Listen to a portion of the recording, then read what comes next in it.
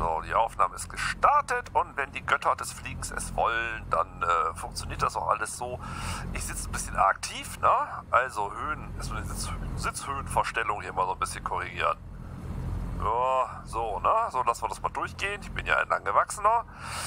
Ja, es hat sich optisch einiges getan, deswegen gibt es sozusagen eine Sondersendung. Um, um besonders zu senden, fliegen wir einfach erstmal los und ich denke, wenn wir unterwegs sind, dann seht ihr auch gleich, was ich meinte. Ja, erstmal wieder gegensteuern. Haben wir Seitenwind? Nein, ich habe ja, hab Wetter abgeschaltet, soweit ich das erkennen kann. Weil hier geht es jetzt nicht ums Fliegen, hier geht es eigentlich nur ums Gucken. So, ja, ich glaube, wir können so langsam, ne? Ja, ei, der Staun, es funktioniert. Und, und was sehen wir? Sehen wir überhaupt irgendwas? Ja, wir sehen was, nämlich eine Lagune.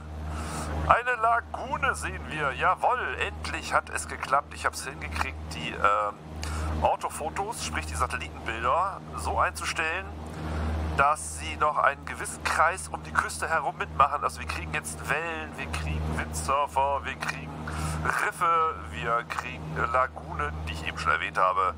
Und was sonst noch so alles da ist. Es gibt ein kleines Manko, das sehen wir da, nämlich an der Stelle, wo die Autofotos enden. Zackige, das ist da, wo die Satellitenbilder aufhören. Äh, und dann das künstlich generierte Meer beginnt, das ist dann halt so. Ne? Hier sehen wir so noch Motorboote, die in der Gegend kommen, Gondeln und vielleicht den einen oder anderen verschwirrten Schwimmer, der von der äh, Flut davongetragen wurde und äh, der auf diesem Foto das letzte Mal gesehen wurde. Und äh, naja, wir haben hier eine Zickzacklinie, aber sei es drum, wenn wir den Blick in die andere Richtung äh, lenken, äh, falls das Flugzeug jedes Mal dieses erlauben sollte, ich komme einfach nach draußen, so. Na, und äh, ich glaube, es ist selbsterklärend, warum das viel schöner ist so. Ich glaube, ich schalte mal auf einen anderen Modus, nämlich Plane Follow oder sowas.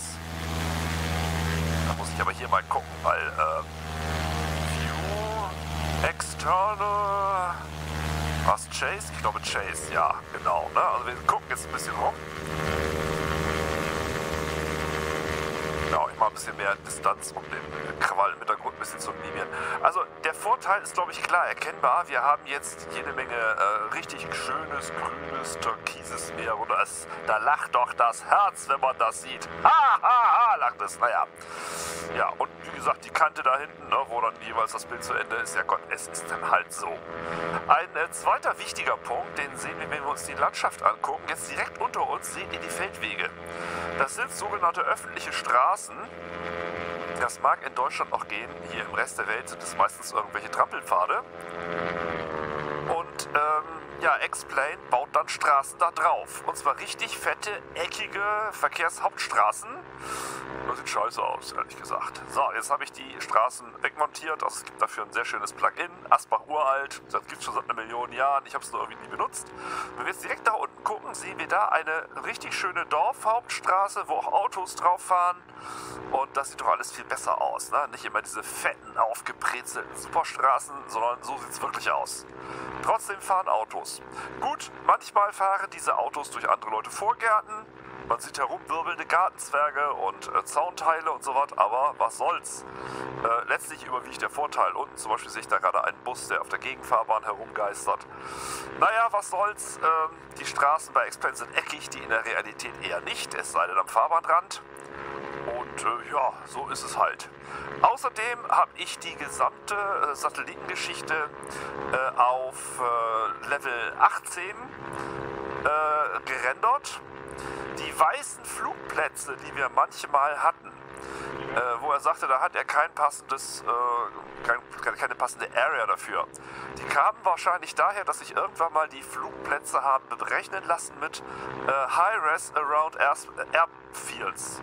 Dann würde er praktisch die Umgebung mit einer Superauflösung berechnen. Das Problem ist, diese Superauflösung gibt es halt nicht immer. Und dann wird es weiß.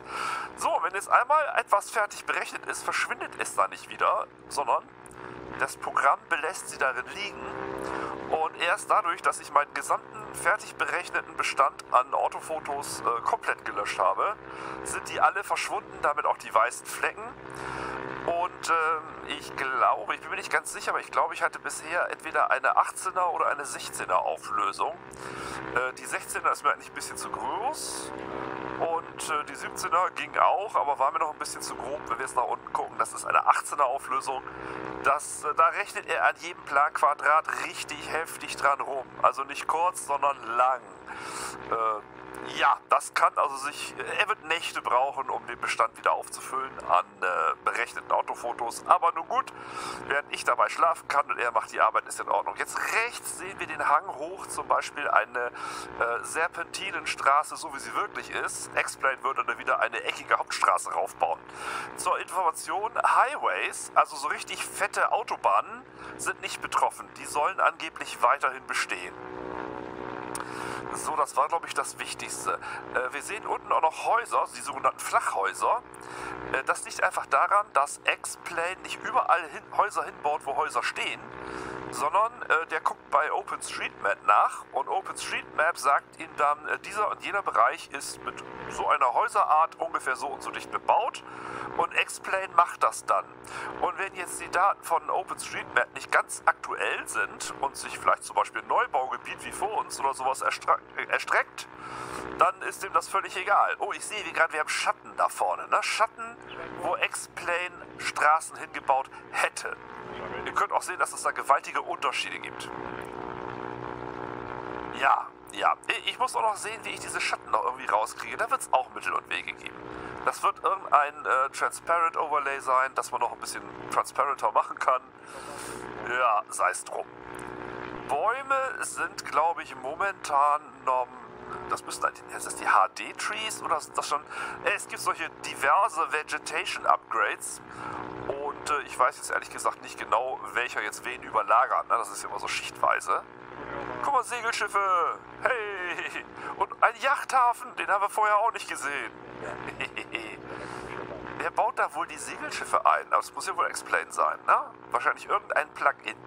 Fähren fahren hier auch gelegentlich rum. Dafür benutzt Explain einfach die Fährpläne und sucht sich daraus dann die Verbindung raus und packt dann die Fähren einfach irgendwo hin. Finde ich auch lustig. So, guck mal, da haben wir Brücken.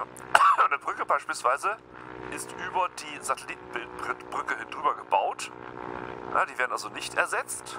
Aber der Kreisverkehr da vorne beispielsweise, der ist äh, dieser, ähm, wie man das eigentlich nennen, Extension, egal, jedenfalls nicht groß genug und deswegen äh, sagt er da, nehmen wir das Satellitenbild, reicht auch und funktioniert ja auch prima.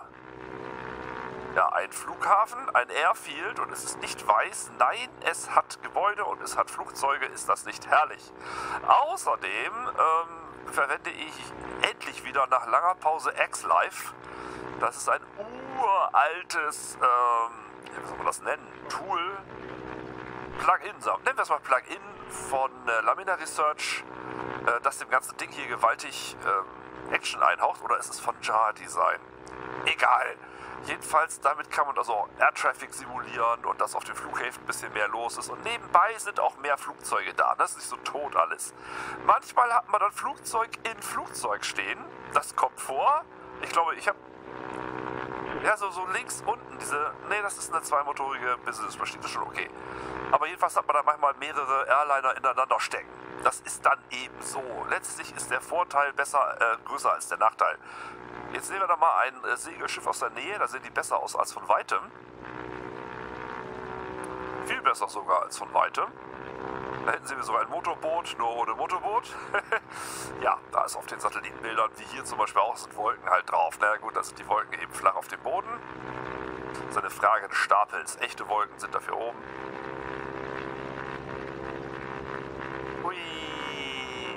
Cessna, die super Kunstflugmaschine.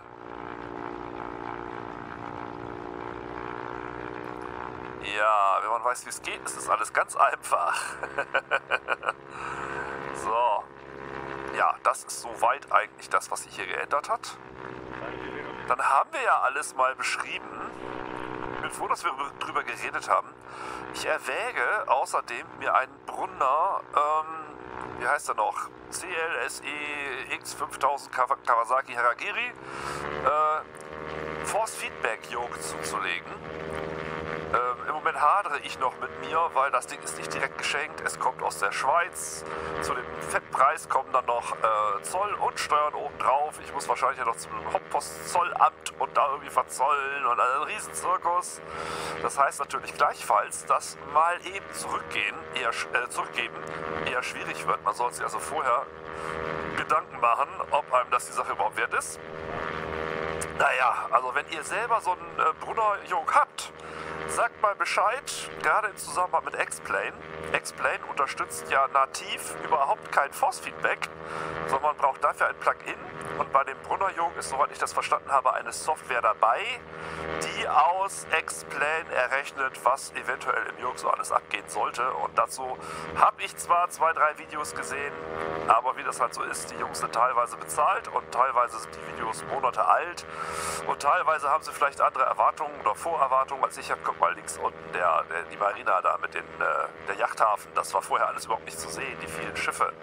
Ah, mir geht gerade das Herz auf. Ah. Also wie gesagt, wenn ihr so ein Ding habt, so ein Brunnerjog, sagt mal Bescheid, lasst mal hören. Das interessiert mich rasend.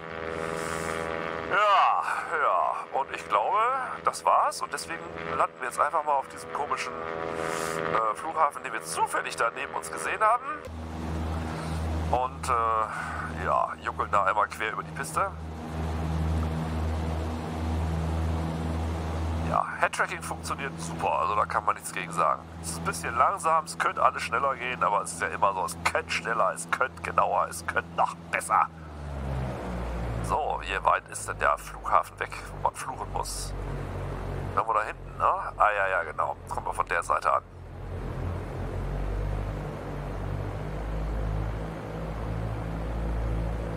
Kann ich schon mal Gas wegnehmen und Klandelappen ausfahren. Mache ich sowieso viel zu selten. Meine Klappen landen meistens ohne mich oder vor oder nach mir. Das kann auch passieren.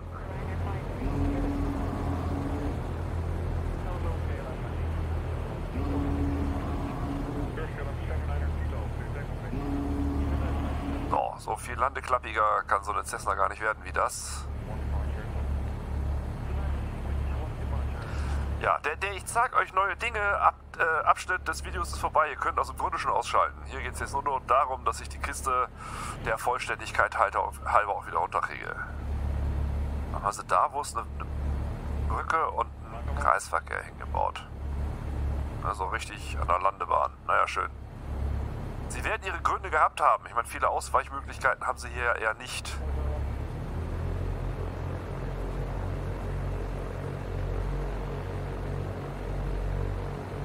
Ich glaube, wenn ich das in der Realität auch so machen würde mit dem Anflug, dann würden mich die Leute aus dem Tower anschließend mit nassen Lappen erschlagen.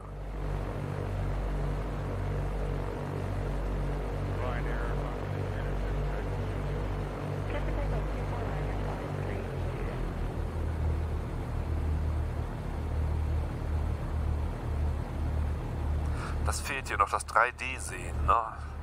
Wenn man den richtigen Punkt für den Sprite auch erkennt.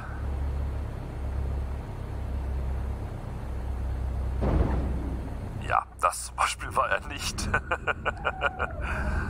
so. Ist das alles schön hier. Das ist übrigens auch ein Problem mit Headtracking beim äh, Autorennenfahren, was auch immer. Sobald man den Kopf dreht, verliert man vollkommen die Orientierung. Wenn man eine VR-Brille aufhat, ist das überhaupt nicht. Dann ist es wirklich wie real. Aber wenn man hier den Kopf dreht und das Bild bleibt da, man fährt automatisch in die nächste Wand. So, sind wir bald da? Ja, ne?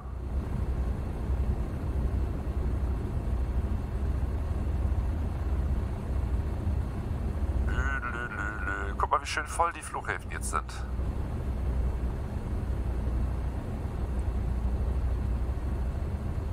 Ich halte mich jetzt mal wieder nicht an die gelben Linien. Ich fahre einfach um eine Kurve. Ach, kann ja mal zur Abwechslung die Flaps einfahren, bevor ich stehe. Ach, gibt ja nur drei. Wo wollen wir hin? Wo sind Leute? Ich weiß, dass die 3D People Dingens äh, Library installiert ist, aber ich sehe hier keine Personen im Moment.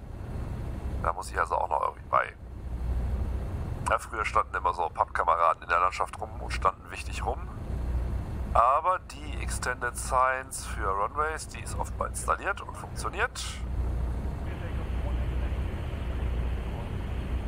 mal quer übers Vorfeld, das schafft Freude. Der Tower will auch mal was zu lachen haben. Ja, es gab so viele Add-ons und Libraries, die im Laufe der Zeit wieder rausgeflogen oder schlicht verschütt gegangen sind. Und die ich jetzt so peu à peu wieder entdecke. Wahrscheinlich irgendwann beim Festplattenwechsel oder so. Irgendwas war da mal. Oder so tausend installierte Sachen sozusagen mit dem Orkus der Geschichte verschwunden.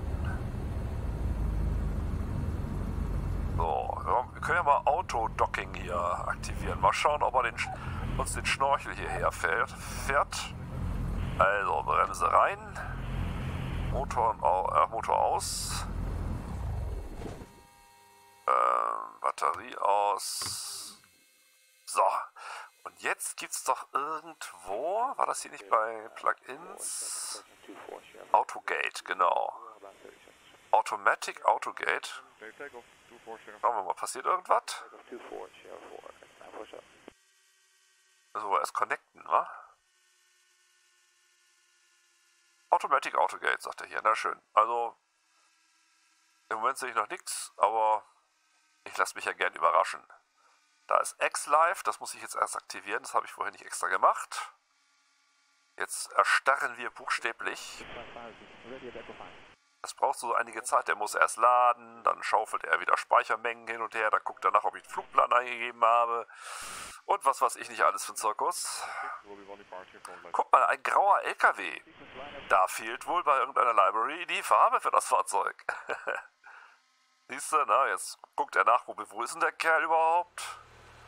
Und dann schaut er, wo sind die Runways und wer kommt und geht da und hat er überhaupt einen Flugplan eingegeben und wenn nicht, dann nicht. Aber wir sollten jetzt zum Beispiel im Hintergrund Motorengeräusche hören, wo vorher keine waren, weil auf dem Flugfeld ist es nun mal... Ah, siehst du? Ne, die Autos fahren wieder mit Motor. Es gibt äh, Flugzeuge um uns herum, die ihre Turbinen anschmeißen. Guck mal da oben. Alles so Sachen, die ich im Laufe der Zeit endlich wieder einfügen muss oder aktivieren muss. Oder oh, guck mal, da haben wir ein Doppelflugzeug. Seht ihr es? Genau, genau jetzt hinter dem äh, Seitenluder. Zwei Flugzeuge, die ineinander stecken.